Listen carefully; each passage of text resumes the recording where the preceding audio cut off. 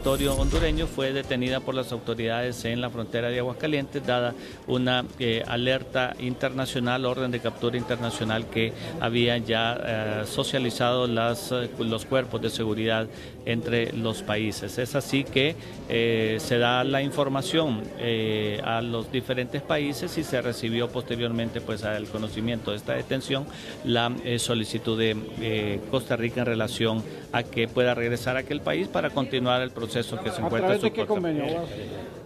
Esas son verificaciones. Es decir, hay convenios entre los países para las causas penales, a ella se le sigue un proceso en aquel país eh, por los delitos de legitimación de capitales provenientes del eh, narcotráfico y es un proceso que tendrá que continuarse allá una vez que se verifiquen todos los demás eh, elementos de estatus en relación a su persona. En el caso de la mm, solicitud que fue enviada por la Corte del Distrito Sur de la Florida, se trata del ciudadano hondureño José Rafael Sosa Méndez, por delitos vinculados a la conspiración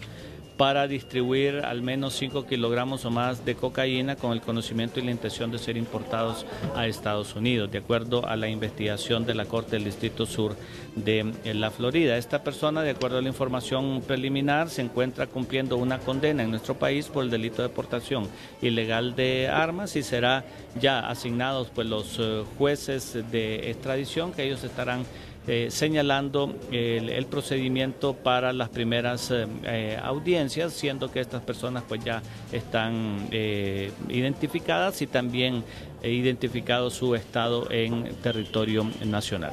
Muchas gracias abogado Melvin Duarte, portavoz de la Corte Suprema de Justicia, donde ya se nombraron los jueces naturales que llevarán los casos de dos solicitudes de extradición, tanto de una dama hondureña, asimismo de un hombre. La dama hondureña ha sido solicitada por el gobierno de Costa Rica, mientras tanto el hombre es solicitado por el gobierno de los Estados Unidos por la conspiración en cuanto al tráfico de eh, cocaína. Este es nuestro informe. Yo regreso con ustedes al estudio.